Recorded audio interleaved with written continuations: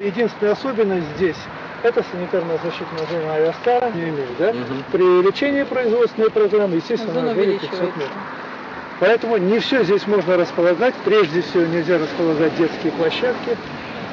Вот, э, то, что это связано прежде всего с личная зона. Вот, нельзя ее назвать рекреационной зоной, то что юридически это не проходит. Но элементы отдыха предлагаем, предлагаем здесь делать. Мы, значит, вот, вот то, что где мы стоим, э, да, оборудовать это соответствующими аншлагами наглядной агитацией, ну какую-то тематику какую-то. Должно быть, э, вы, вы должны предусмотреть э, с, с ландшафтниками, чтобы это был вечно цветущий Сад непрерывного цветения. Все правильно, Есть вечно цветущий, да. Чтобы так все, мы понимали о том, что цветут сначала там, ну я не знаю, там а, одуванчики, потом цветут там тюльпаны. Это да. А, для огорода, выгула, все. Вольеры для выгула собак. Вот, Да, для выгула здесь- собак. Ну, кстати, мы с Романом это обсудили, он самое знает уже. место. Мы это впишем, Сергей. Хорошо, хорошее дело.